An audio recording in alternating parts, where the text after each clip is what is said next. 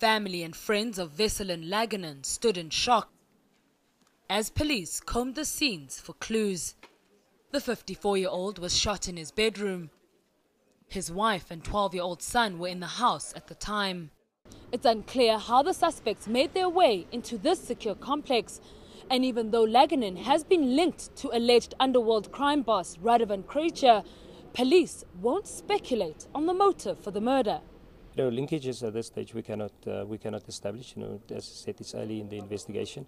Um, we have also called our national um, investigation team to come and assist us with the investigation. Last year, Laganin was arrested for armed robbery at an electronics shop in Pretoria. Krejcir and Jason Dominguez were also arrested in the incident.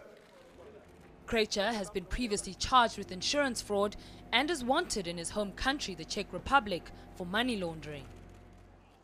Less than a month ago, another one of Krejcir's alleged associates, Sam Issa, was shot several times.